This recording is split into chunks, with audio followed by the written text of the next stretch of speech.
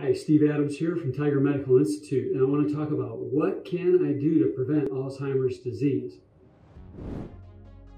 Okay, just the title alone is pretty provocative. Many of us are touched by the scourge of this disease through family members that we know or friends. And we often wonder, could I be touched by this disease somehow in some way in the future? Well, did you know that it is possible to do something about this. And if that is intriguing to you, listen in because I'm going to talk about three things. Number one, how this disease is diagnosed in a very general way. Uh, I'm going to talk about what you can do if you are concerned about it, if you feel like you're at higher risk because of family history or whatever, and then some practical next steps. Okay, so let's talk about the diagnosis. There's really two paths traditional medicine path versus the root cause functional medicine path that I talk about all the time in my videos. Um, the traditional path is you're going to meet with your primary care doctor first. They're going to help you classify which direction to go uh, in your testing. Is this a memory loss issue? Is it dementia? Or do they feel like it's full blown Alzheimer's that they're concerned about? And you're going to get referred probably both to a psychologist and a neurologist. The psychologist is going to look at some uh, mental health conditions that will uh, have similar type symptoms.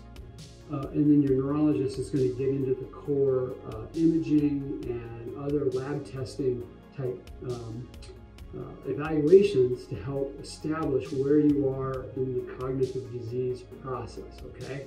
Um, a functional doctor is going to do similar things. They're going to look at brain imaging, um, their lab testing though is going to be expansive because uh, especially if they are uh, certified and trained in advanced analysis for cognitive disease like Tiger Medical Institute is, uh, they're going to test differently because they're going to be looking at the 40 to 50 plus drivers of this disease.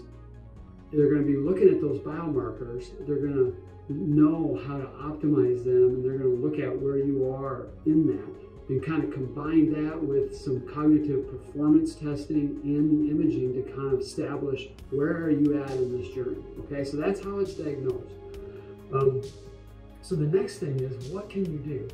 Well, if you're going down the traditional medical path, there isn't a lot you can do because the traditional medical community does not recognize or accept any kind of preventative type treatment uh, modalities. Um, they don't accept it despite the evidence um, that has been um, secured over the past 35 years of, of, research by one particular researcher at UCLA. Uh, if you go the functional approach, on the other hand, uh, there is something you can do about it if you're working with a clinic that's been certified in this approach, which again, Tiger Medical has.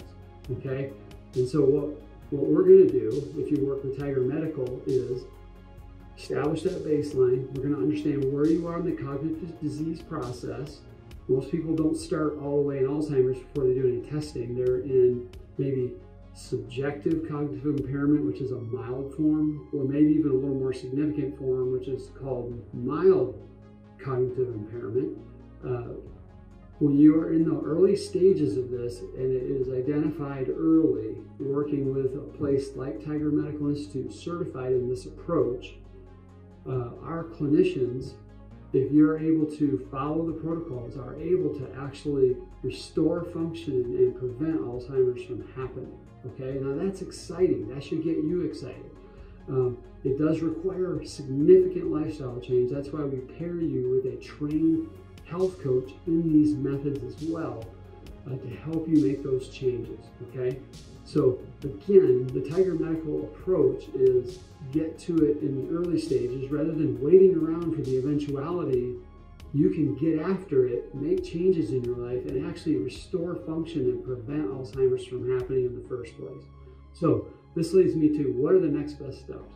Well, if you're early in your investigative process, then I would encourage you to go to the Learning Center on our tigermi.com website and learn more about our Alzheimer's type protocols. Um, you can go to the solution section and just learn more about our comprehensive overall one-year program, okay?